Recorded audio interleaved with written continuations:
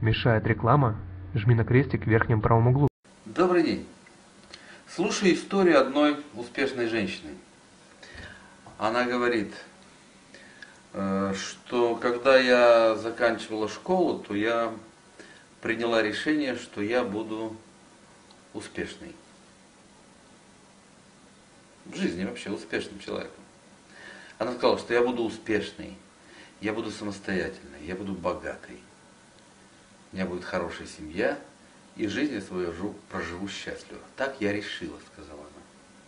И когда я завершила обучение в университете, то вместо того, чтобы идти работать по специальности, я решила заняться бизнесом, конечно же. Потому что именно бизнес дает ту самую свободу, самостоятельность, силу, возможность проявить себя как личность, выработать себе нужные черты характера и так далее, и так далее, и так далее, и так далее. И я занялась бизнесом. Со временем у меня э,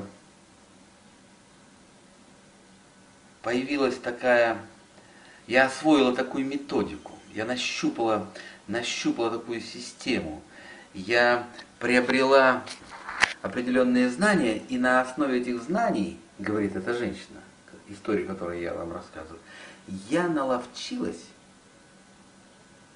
применять определенные приемы, совершать последовательные действия, которые всегда приводили меня к успеху. Чем бы я ни занималась. Главное поставить цель. В основе этой методики достижения успеха, чем бы ты ни занимался, главное поставить было цель. И вот я ставила цель за целью, цель за целью, и незаметно для себя вдруг осознала как-то, что мне уже 32 года, что у меня серьезный, прогрессирующий международный бизнес, что я стала личностью, которую уважают и знают в этом мире, и что пришло в конце концов время, когда мне нужно от случайных знакомств взяться за то, чтобы найти себе мужа. В 32 года у меня образовалась цель, рассказывает эта женщина, выйти замуж и создать семью. Слава Богу, говорит она, что у меня была методика, с помощью которой я всегда достигала успеха в бизнесе, какой бы цель я перед собой не ставила. И я решила, что пора. И вот как я действовала, рассказывает эта женщина. Я вдруг, после того, когда осознала, что я нуждаюсь в спутнике жизни навсегда, в постоянном спутнике жизни, который будет сопровождать меня до конца дней моих э, на этой земле, всегда, я стала размышлять над тем, каким должен быть мой избранник. На то, чтобы определить, сложить в голове представление об этом человеке, об этом мужчине – моей мечты, у меня ушло, говорит, недели три.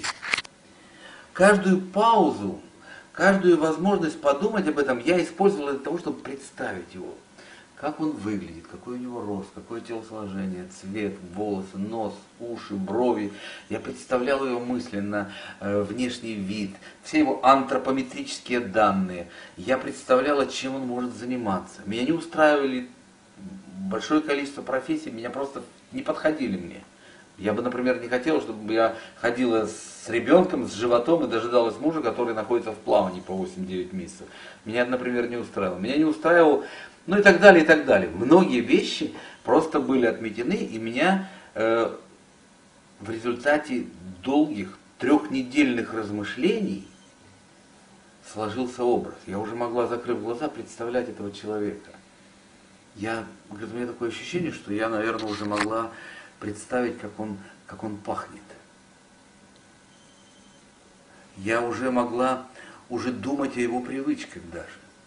Иногда я настолько четко его видела, что аж мурашки по телу. На это потребовалось, потребовались усилия. Время и усилия. Три недели.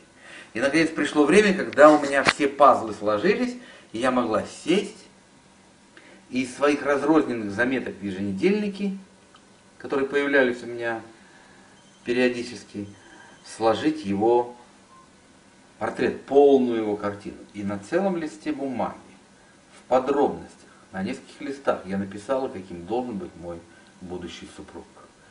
Что он должен любить, какими качествами обладать, как он должен быть воспитан, чем должен интересоваться, что любить, что ненавидеть. Короче говоря, я все самым тщательным образом описала, закрылась в своей комнате и в тишине помолилась. Я сказала Богу, Бог, ты мне всегда помогал. Бог этот метод всегда срабатывал. Сейчас мне нужен муж. Я ставлю новую жизненную цель. Возможно, это самая главная цель моей жизни. Мне нужен муж, мне нужен мой, мой единственный человек вот с этими качествами, который где-то ходит. Он есть, он есть, живой. Пожалуйста, сведи меня с ним. Дай мне возможность увидеть его, распознать и связать с ним свою судьбу. Ты Бог, ты не человек, ты не можешь обманывать. В твоем слове написано, что если я буду верить в молитве, когда прошу, то ты мне дашь. Пожалуйста, я тебя очень прошу, я верю. А вера, я знаю, это осуществление ожидаемого. Я буду, я буду ждать, я буду дожидаться своего человека. И я закончила, как всегда, по своей методике молитву, поблагодарила Бога за то, что Он откликнулся на мою просьбу, эту бумажку сожгла и развеяла ее по ветру, чтобы вся окружающая действительность восприняла эту информацию, и с Божьей помощью этот человек проявился наяву. Из моих слов, из моих представлений, из моих ожиданий, из моей веры, а вера есть осуществление ожидаемого, этот человек проявился. Я так делала всегда, рассказывает эта женщина. Я так построила бизнес, я так построила свою собственную жизнь.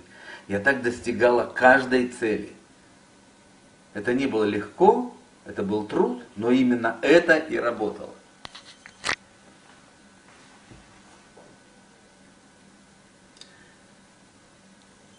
И буквально сразу после того, как я развеяла по ветру пепел от э, этой бумаги, я стала ожидать от Бога этого человека. Жизнь показала, что этот человек, мой будущий муж, проявился, проявился в моем окружении на следующий день. Я не смогла распознать тогда, говорит эта женщина, не, смог, не смогла распознать, что это был именно он. Но он появился на следующий день. Потом мы встретились через два месяца. На следующий день этот человек появился в моей жизни, и появилась ниточка, которая нас каким-то образом связала, какой-то шанс на следующую встречу, чтобы я могла его распознать. Через полгода мы уже точно знали, что мы муж и жена. И когда мы, я ему рассказывала и доставала свои записи в еженедельнике, каким он должен был быть, и каким я его себе представляла день за днем, у обоих мурашки по телу бежали, потому что это было настолько сверхъестественно, настолько это было чудесно, настолько это было ненормально, не вот с житейской точки зрения, но эта методика работает. И вот эта женщина с детьми, у нее успешный брак, счастливый человек, которого она, э, портрет которого нарисовала, практически полностью, полностью отвечал тем требованиям, которые она закладывала в своих молитвах Богу о нем. Зачем я вам рассказываю историю успешной женщины? Я давно слышал эту историю, и давно знаю, что это работает, и давно использую подобную методику. Не все сразу и быстро получается. Не все легко так, как я сейчас рассказал, потому что это требует концентрации усилий, прежде всего мыслительных. Надо об этом думать. Недаром Наполеон Хилл написал книжку «Думай и богатей». Думай. Вот когда я использую таким образом э, свой мозговой аппарат, мыслительный аппарат, когда я думаю над своими целями, когда я их представляю, то так и происходит. Сегодня я с успехом применяю эту методику в построении бизнеса. Мне потребовалось время, чтобы найти дело. И теперь вы когда-нибудь узнаете, что теперь. Вы подумайте над этим. Возможно, это вам пригодится. Возможно, это можно применить. Вы можете, возможно, вы можете применить это к своему делу, к своим целям. Не обязательно выйти замуж. Возможно, кому-то надо жениться, а возможно, кому-то заработать денег, а кому-то отдать долги, а кому-то купить новую машину, а кому-то новый дом, а кому-то достичь карьерного статуса, а кому-то помочь маме, а кому-то вылечить детей, а кому-то мало ли у кого какие цели. Я желаю вам удачи. До свидания.